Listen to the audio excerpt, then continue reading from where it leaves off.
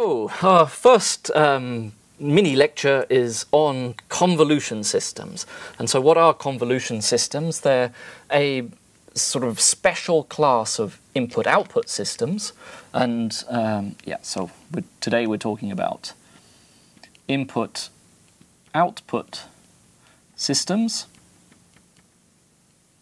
And what is an input output system? Well, it's an abstract mathematical object uh, that sort of encompasses the dynamical models of things that we would like to understand. So, uh, control is all about understanding dynamical systems and designing control systems to make dynamical uh, systems behave in um, more beneficial ways.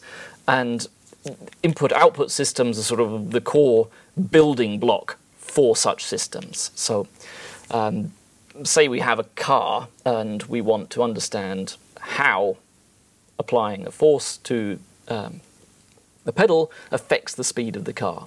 So this would be the system that we want to understand, and the input would be the force we apply to the pedal, the output would be the speed of the car. And the control the control engineer would then want to sort of understand that model and then understand how they should control the force they or what force they should pick to apply to the pedal in order to get the uh, velocity to be, be what they want to be. So input-output systems are sort of like the core objects um, for modeling dynamical systems. You can build complicated dynamical models out of simple models for lots of individual components where you then feed the outputs of subcomponents into the inputs of others. And understanding these is really what all of control theory is about. And today we want to talk about a very, very important class of input-output system, and that's the uh, convolution systems. And these are really going to correspond to the systems that have transfer functions or linear systems. Um, and this is where a lot of uh, control analysis tools are strongest, and it's also a very good fit for typical control theoretic objectives. And we'll sort of get back into that a bit uh, later in the course, but today is really just about understanding this special class of convolution system. What does it mean? Why, why on earth uh, convolution system? Um, so let's just start off by saying what it is. So it's an input-output system, so it's a system that takes an input u of t, and this is some function of time, and it's typically some signal that's uh, defined for positive time only. So a typical input might be a step. If we think back to our car example, we apply a we have a car and we want we just apply a constant force to the pedal and we want to see what happens. Um, so we have some input. The convention to have things defined for positive time is just a convention. We could have, rather than starting things at t is equal to zero, it could be minus 100, but we've got to pick something, so let's just pick zero. Um, um, so we take an input and it will produce an output. So in the case of our car, we apply this step um, to the pedal and maybe the velocity starts to increase and then it gets to a certain point and maybe it settles down, something like that. So we, ha we have this sort of picture of an input-output system in which we put in input signals and we get output signals. And in convolution systems, the input and output are related in a very special way through the convolution integral.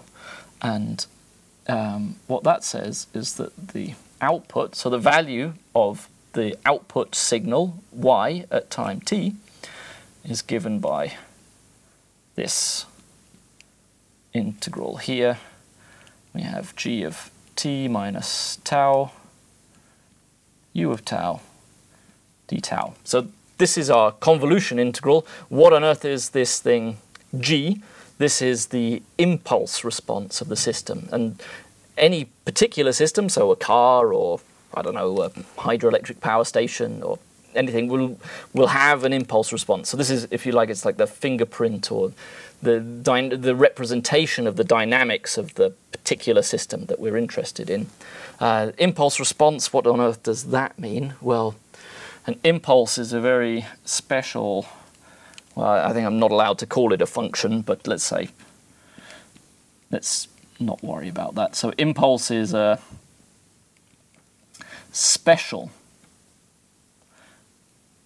function uh, that has the, the following key property, um, and that is it takes, we can apply our, so delta t, this is how we're going to represent the impulse, and then we put any um, function f of t and we integrate it like this and this will return the value of f at t is equal to zero. So the impulse is a special function that like sifts out a specific value of another function. And if you want to sort of imagine what that would mean in the input-output framework, well, you could imagine putting in input signals that look like very sort of sharp spikes. And um, sort of the characteristic is that this is supposed to be a function of infinite height and infinitely narrow width, but with unit area. But uh, so you just imagine that you've got the system and you're giving it a short, sharp shock, and you see what happens. So this is our impulse, delta t. We have our system in question, and this will produce maybe some output. And this specific output this is the special output called our impulse response. Um, so the impulse response is the response of our system to an impulsive input. And sort of the claim of a convolution system is that this impulse response is enough to characterize the behavior or the response of a system, not just to impulses, but in fact to any input we like. So based just on knowledge of what that input is, and this impulse response, we're able to work out the behavior um, or, the, or the output of the system in the general case, not just in the impulsive input case. So this is uh, what a convolution system is. But what I really want to talk about today is like why? Why are we modeling things as convolution systems? It all seems a bit weird and a bit mysterious. Why is this impulse response so central to understanding the behavior of systems? Or maybe put another way, what do we have to assume about our system in order for it to have its input output behavior described by a convolution system? And that's the question that we're really going to try and focus on now. So, why? Why why convolution systems? And what we're now going to see is that um, for a system to be described by a convolution, it really has to satisfy kind of three basic assumptions. And understanding those assumptions sort of tells you more about when is it valid to model a system with a convolution system? Um, we're going to do a lot of analysis of convolution systems, and the theory is very nice. Um, transfer functions have got all sorts of nice properties, and we can say all sorts of nice things about their behavior. But understanding these core assumptions will sort of tell you under what conditions we can get away with using all of this nice analysis so that we're just we're not just doing nice analysis for the sake of it.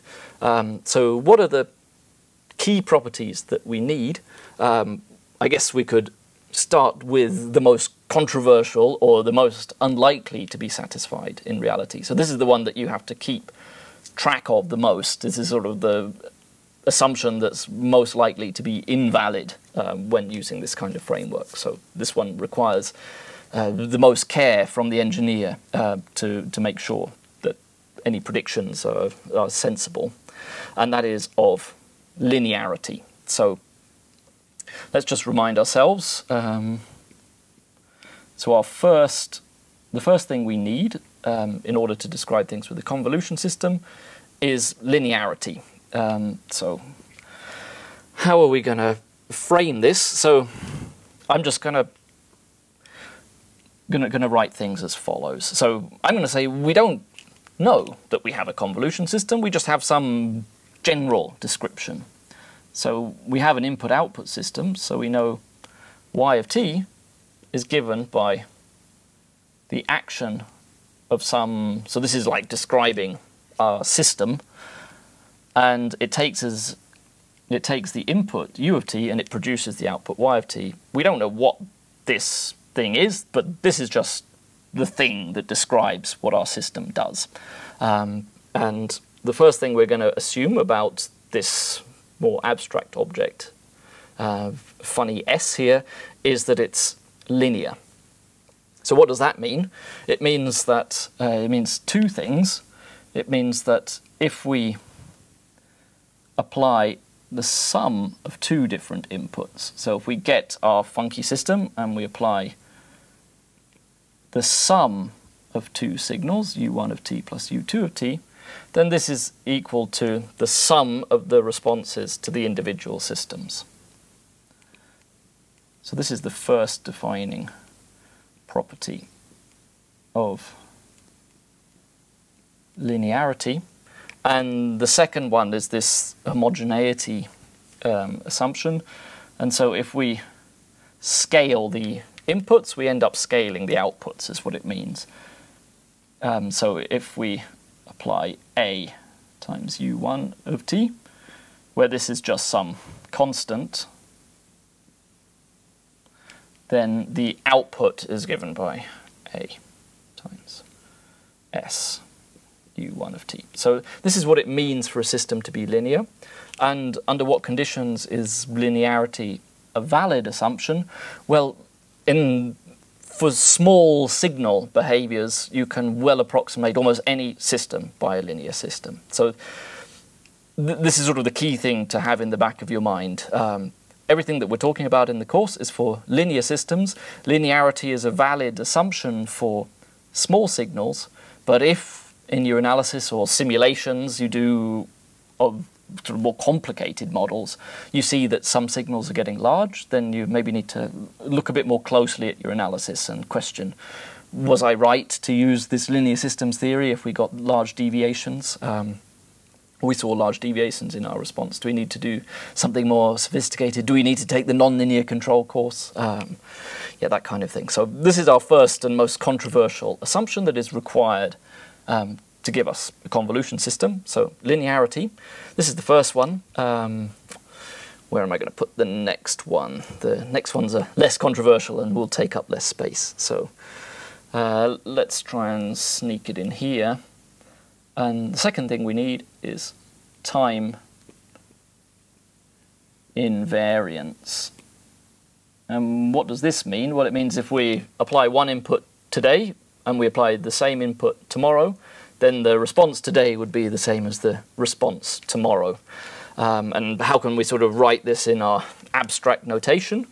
Well, this is saying that if y of t is equal to the what our system does to some input u of t, then this is the same as saying that y of t minus capital T, which is, so this is our, the, uh, our shift in time, is equal to the action of our system on the shifted input. So this is also um, not guaranteed to be true. Um, maybe the the system that you're interested in is like slowly degrading over time. You're you're modeling an aircraft, and as you use the aircraft, it sort of takes on damage and bits wear out. So maybe the the dynamics is changing over time, and so if you have a process like that, you won't be time invariant. I guess another classic example might be uh, you could stick with aircraft. Um, during a flight, it uses fuel, and that will change the mass of the aircraft. So the dynamical sort of the, the dynamical model of the aircraft will be changing over time, so it won't be time invariant. Um, and so again, I guess probably most systems are not time invariant, but maybe they are time invariant on the order of on a 10 second horizon. Maybe they are well approximated by something that's time invariant. Um, so in terms of like fast dynamics of systems, time invariance is a reasonable assumption, but long uh, time horizons of the order of hours or days or years, um, it's not so valid. But this is something that we also need. Um, so we've got time invariance, and the final one is uh, causality. And this is probably the least controversial. Um, it just means that whatever input you apply now won't affect what happened in the past. So any input you apply can only have an effect on the output in the future. And for our purposes, and there's lots of ways to uh, define this. Uh, so our final one is causality, and the, the key thing we need here is we're just going to say that if y of t is the response to an impulse,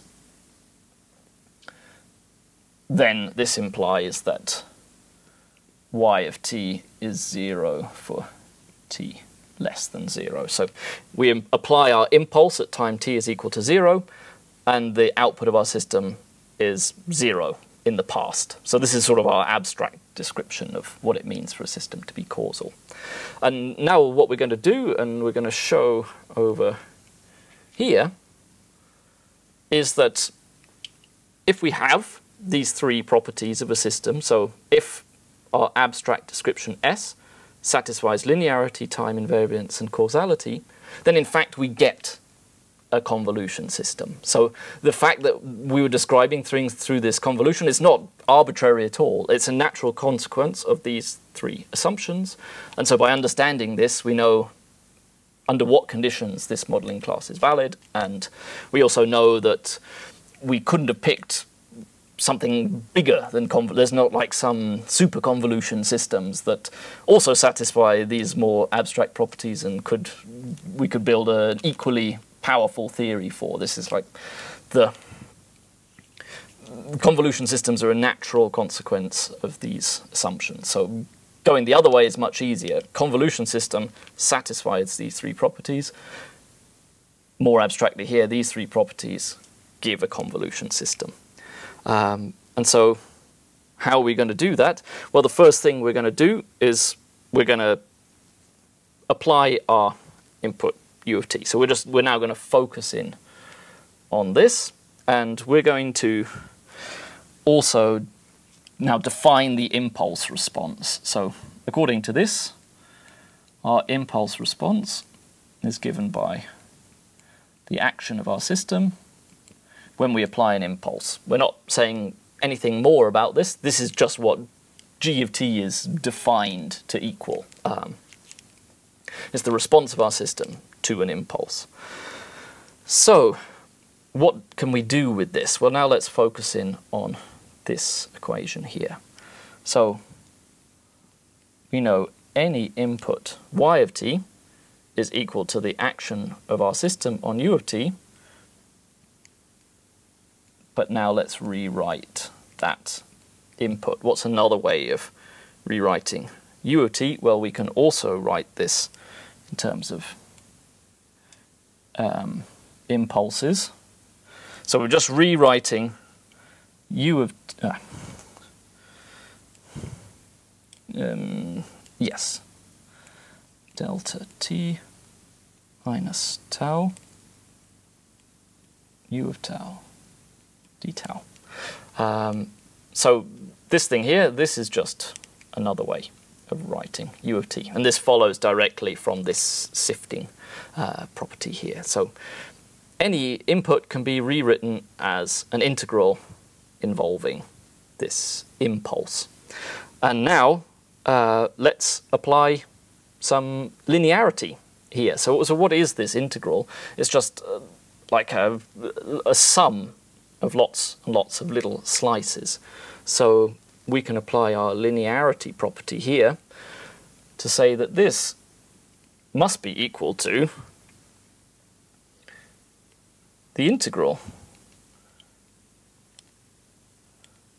of the action of our system on delta t minus tau u of tau d tau. So by linearity, we've just got the sum of lots of inputs. So in, equivalently, we can just sum all the outputs. So that's just the, the integral version of this uh, relationship here. So this is linearity, and also from the homogeneity property of linearity, this thing is equal to u of tau s delta t minus tau d tau. So this is just a constant, assuming things are scalar here, we can do vector case in a similar way if we wanted. This is just a scalar, so we can pull the scalar out. That's what this, uh, where is it? This is just a constant. Um, so we've got this homogeneity property. And now we're almost there because we see, ah, this is connected to our g of t. So this is our impulse response. We've got this time shift here, but this is where we use our time invariance property. So if we shift the output in time, we just uh, shift the input in, sorry, shift the input in time, we just shift the output in time. So we know g of t, this is the response to an impulse at time t is equal to zero. If we just shift the time of the, Im the impulse, we just shift the time of the, out uh, uh, the output. So this is now we've got our u of tau still, and this is g of t minus tau d tau. So we're almost there. We've got something that matches almost exactly, um, and uh, the only problem is the limits of this integral, and this is where our final piece uh, comes together. Um, so we now just need causality. So what did we say? We said that, um, yeah, for causality, the response to the impulse was um, zero for negative times. So that just means that our impulse response function looks something like this. It's equal to zero for negative arguments. And so that means that for values of tau greater than t, the input here is negative, but when this is negative, g is just equal to 0. So for values of tau larger than t, g of t minus tau is 0. And so because the system is causal, this is now the integral t 0 u of tau g of t minus tau d tau. And there you have it. By assuming nothing about our system except that it was linear, time invariant, and causal, we found that the output must be given by a convolution of the input with the impulse response of our system. And this is what a convolution system is. And so this is sort of what the whole input-output uh, transfer function framework is all for. And what you sort of have is a very principled uh, basis on which um, all of these linear, all this linear system theory is built. Um, so you, this was just for interest and sort of get things going, but um, yeah, convolution systems.